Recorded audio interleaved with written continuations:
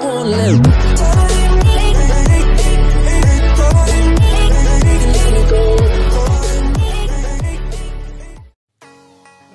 and welcome back to Rich Reviews. Today we're looking at my originals collection, so not so much.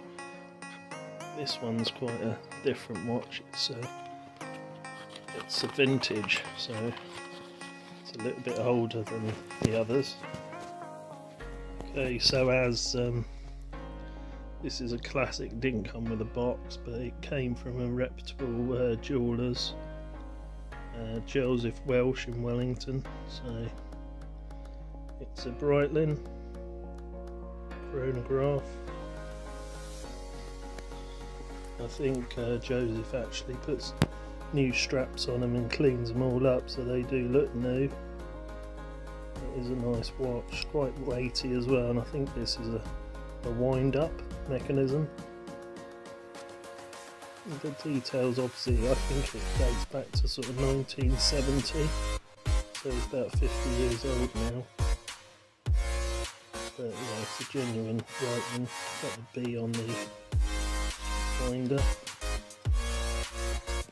A little bit worn on the back, but obviously someone who had it before wore it quite a bit. It's got serial numbers on there. Breitling is still on the back there, but as I say, it's quite worn now. But it's a nice watch anyway. It's not one that I wear. I just really bought it for an investment. Uh, really well. It cost me a thousand pounds, which I thought was quite good for a Breitling, especially an old one like this. Okay, I've wound it up now, and as you see on that second hand, it's just sweeping around. Really, really nice. See it coming out minute, the other side, there it goes. So yeah, real nice clean movement in that. I'm not sure what movement number it is. But yeah, it's a nice watch, nice strap, nice leather, thick one as well.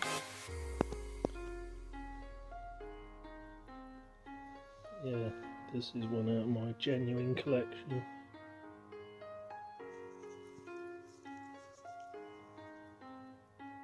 Yeah, it's a very nice watch. I like the classic chronograph on there, and I've also like all these numbers, whatever they do, around the out bezel of the uh,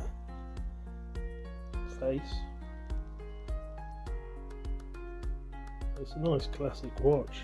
I've got one other classic Omega, which again comes from the 1970s, but I should do that at a later date.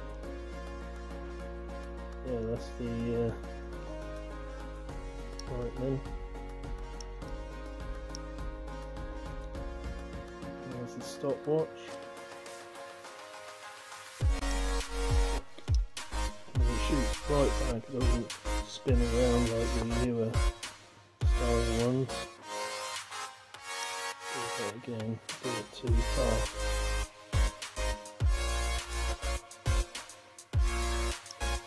Stop it. To shoot back. That's different. So like your modern day ones I normally shoot around. So that's the Breitling. So thanks for watching. Come back for more reviews very soon. Thanks a lot and goodbye.